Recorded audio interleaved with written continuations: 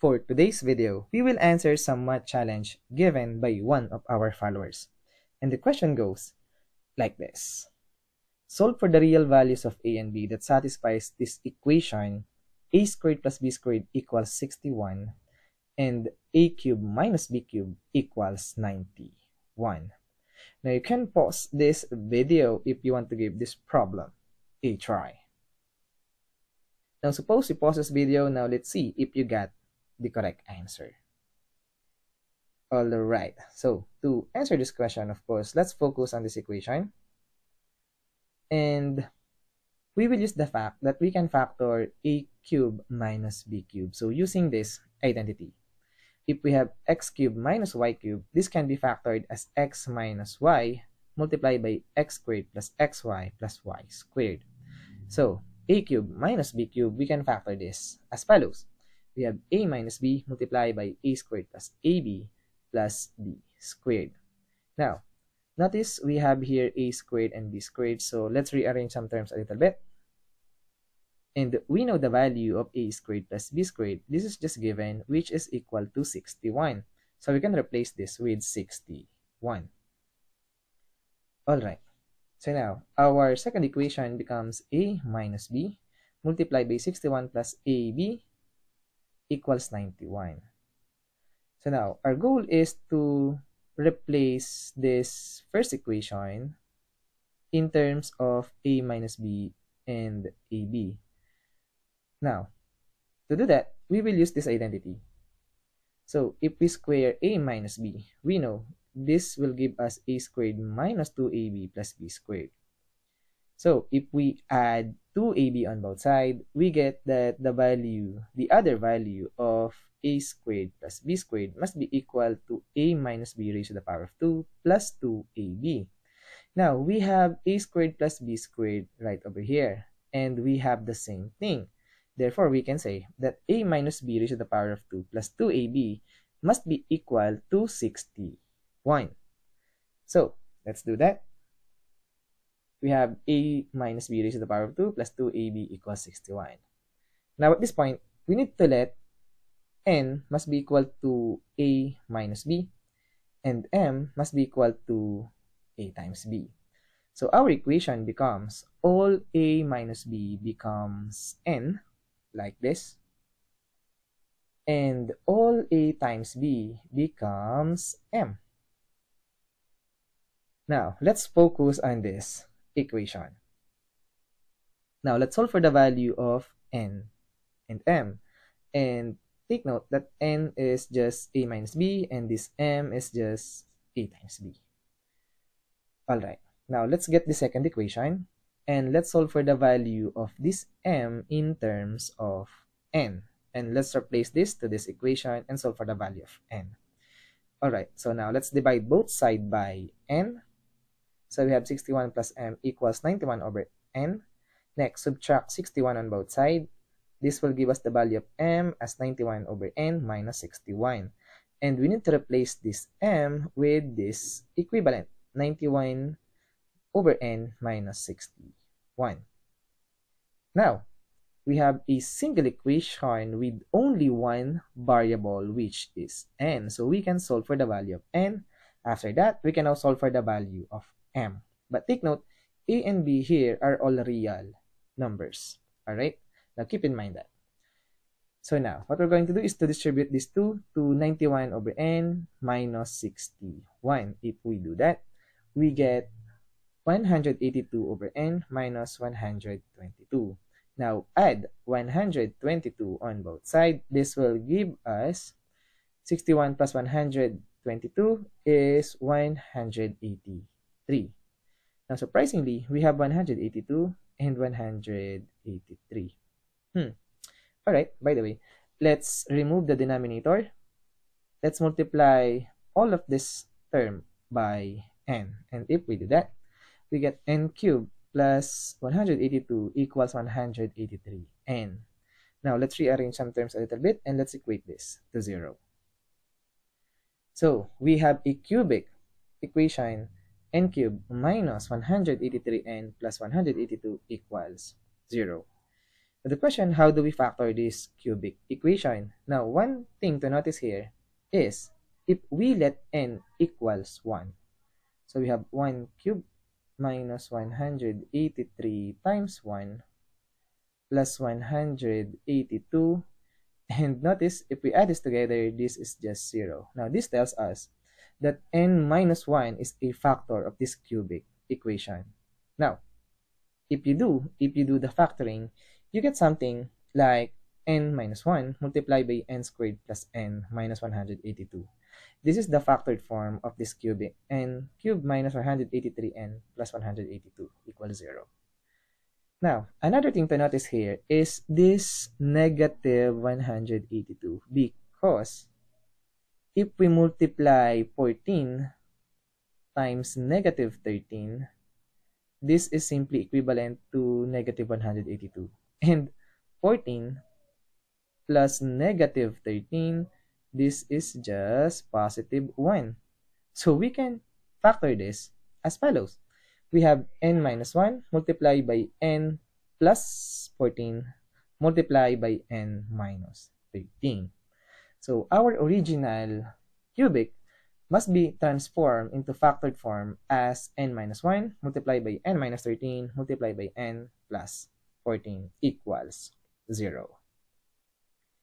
Alright, now since it is equal to 0, so we can use the 0 property. So we can say that n minus 1 equals 0 or n minus 13 equals 0, or n plus 14 equals 0.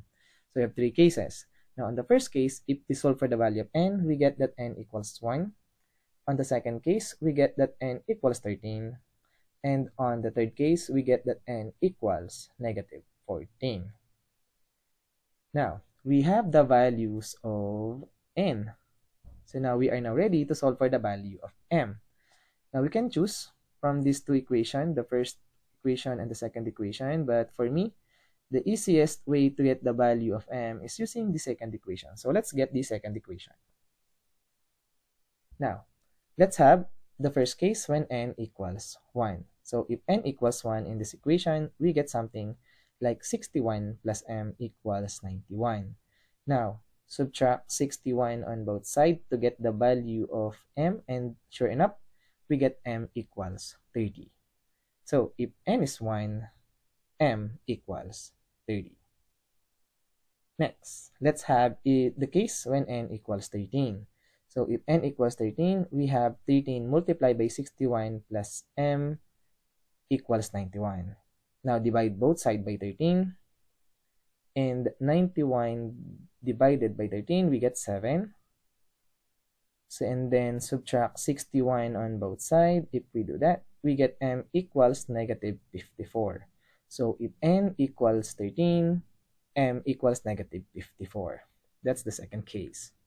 Now the third case, when n equals negative 14. And using the same method, we get that the value of m must be equal to negative 135 over 2.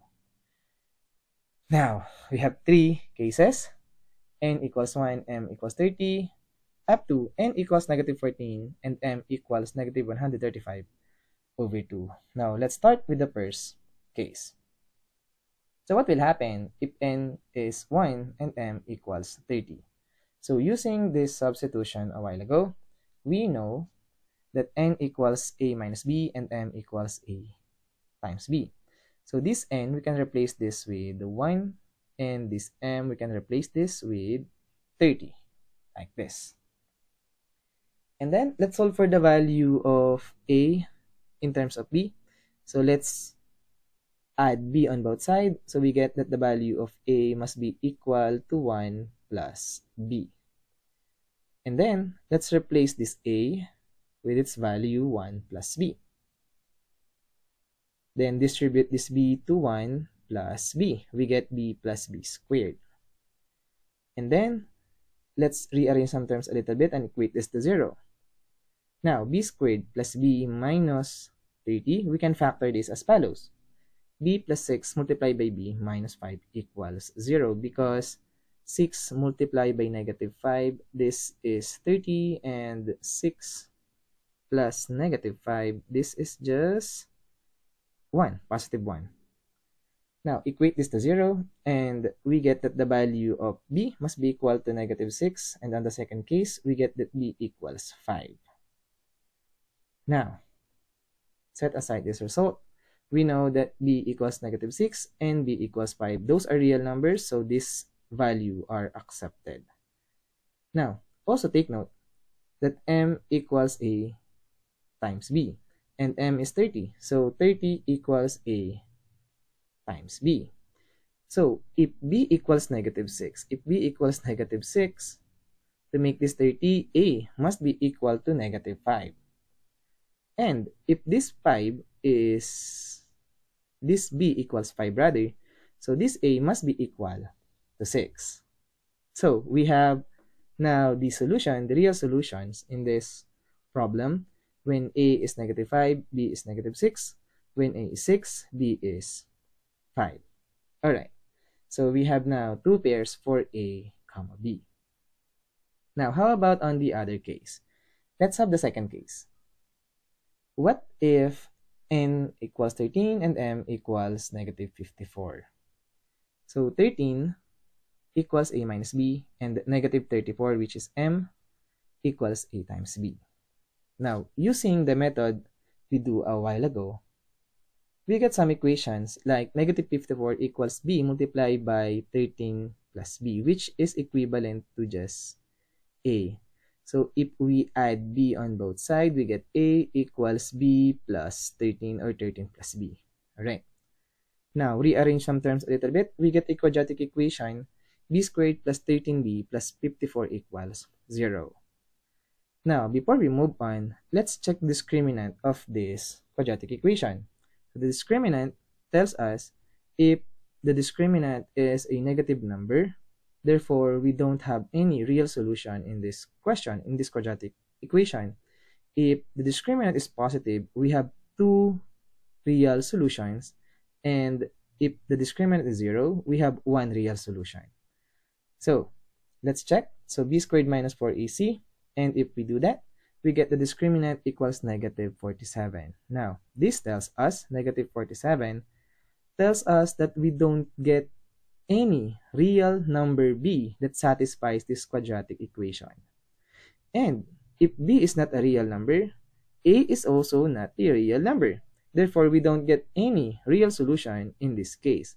So this case is not accepted. It's not possible. Alright, so now let's go to the third case. Let's see if we get a real solution. So, on the third case, n equals negative 14, so I have negative 14 equals a minus b, and m is negative 135 over 2, so negative 135 over 2 equals ab. Now, using these two equations, we get some equations like negative 135 over 2 equals b multiplied by b minus 14. This is just the value of a and rearrange some terms a little bit to get a quadratic equation. If we do, we get 2b squared minus 28b plus 135 equals 0. Again, let's check this discriminant, b squared minus 4ac, and if we do, we get the discriminant equals negative 296. Now, this negative number tells us that we don't get any real number b that satisfies this quadratic equation. So, b is not a real number. a is also not a real number. So, we don't get any real solution in this case. So, the third case is also not possible.